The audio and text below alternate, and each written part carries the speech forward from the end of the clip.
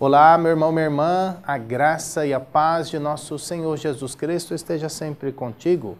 Que alegria estarmos juntos mais uma vez para o nosso programa diário Palavra de Deus Meditado, o programa onde a palavra de Deus toca o nosso coração. Hoje nós temos a alegria de ter conosco a nossa irmã Claudete, que vai meditar a palavra de Deus para nós. Vamos pedir a intercessão da Virgem Maria? Rezemos juntos. Ave Maria, cheia de graça, o Senhor é convosco. Bendita sois vós entre as mulheres, e bendito é o fruto do vosso ventre, Jesus. Santa Maria, Mãe de Deus, rogai por nós, pecadores, agora e na hora de nossa morte. Amém. Que alegria podemos estar aqui com o programa Palavra de Deus Meditada.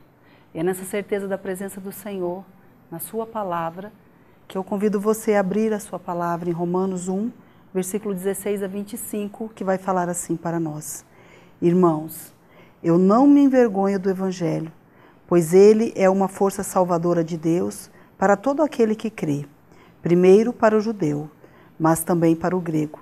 Nele, com efeito, a justiça de Deus se revela da fé para a fé, como está escrito: o justo viverá pela fé. Por outro lado, a ira de Deus se revela do alto do céu contra toda a impiedade e iniquidade dos homens, que em sua iniquidade oprimem a verdade.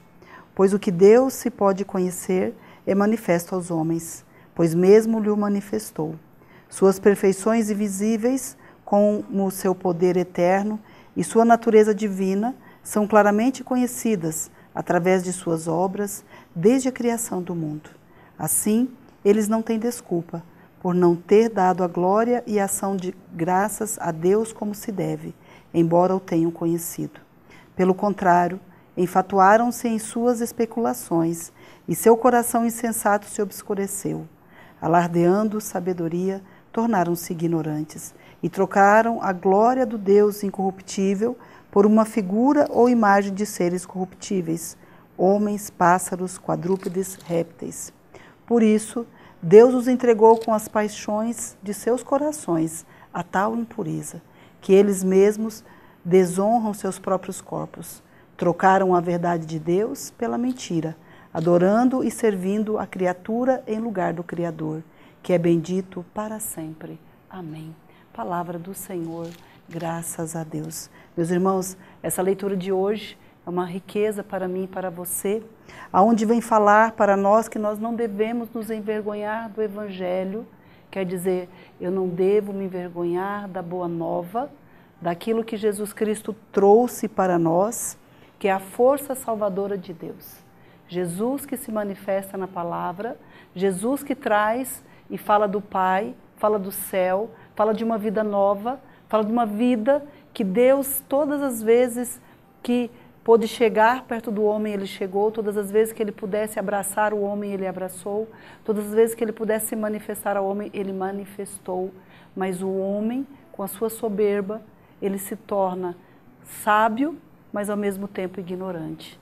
O homem vendo todo o projeto de Deus, conhecendo, porque Deus se manifesta e se mostrou a ele sempre, ele se torna uma pessoa ignorante. Por quê? Porque ele fecha o seu coração para as coisas do Senhor. Essa é uma grande realidade que nós vivemos hoje.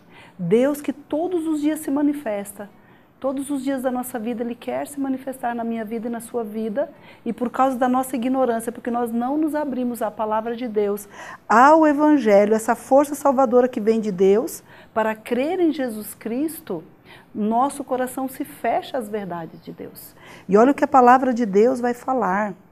Pelo contrário, enfatuaram-se em suas especulações e o seu coração insensato se obscureceu.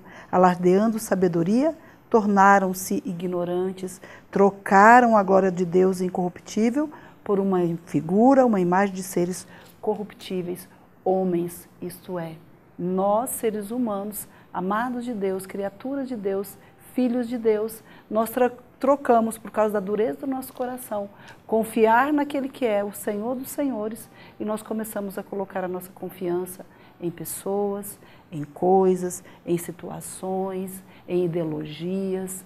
Olhamos ao redor do nosso mundo e achamos que temos que mudar todas as coisas, e aqui a palavra de Deus fala já não é verdade, e os caminhos do Senhor e os mandamentos do Senhor já não têm importância. E o que, que vai acontecendo? A impureza, o pecado, a concupiscência, tudo aquilo que está dentro de nós vai se aflorando em nós.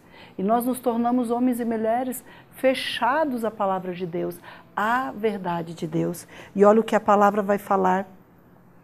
Por isso Deus os entregou com as paixões dos seus corações a tal impureza.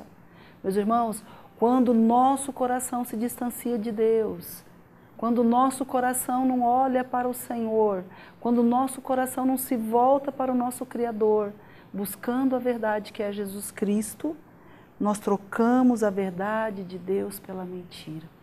Nós trocamos o projeto que Deus tem para nós de céu, de paz, de amor, de alegria, por um pecado de angústia, por uma vida de angústia, por um pecado que nos faz olhar e ter prazeres momentâneos, por situações que nós vivemos e olhamos e nos é agradável nós trocamos a verdade de Deus pelas verdades do mundo e nós misturamos tudo isso por causa da dureza do nosso coração.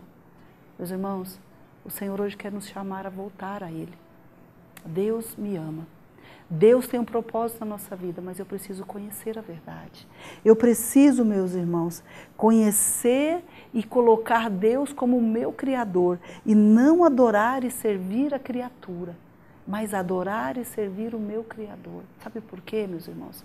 Que todas as vezes que nós adoramos o Deus verdadeiro, Deus vai nos transformando e nos vai nos fazendo a imagem dele como realmente nós deveríamos ser imagem de Deus perfeita, que busca estar buscando nele ele, sabe? É isso que o Senhor quer nos chamar hoje, buscá-lo, buscá-lo com alegria, buscá-lo, buscá-lo com fidelidade, buscar conhecer o que Deus tem para nós e adorar o Deus que realmente merece ser adorado. E não criaturas humanas, não situações, dinheiro, bens, não. Adorar aquele que veio para nos salvar, que é Jesus Cristo. Que o Espírito Santo de Deus possa, neste dia, tocar o meu coração e o seu coração, para que nós juntos possamos descobrir a verdade, que é Jesus Cristo. Louvado seja nosso Senhor Jesus Cristo para sempre seja louvado.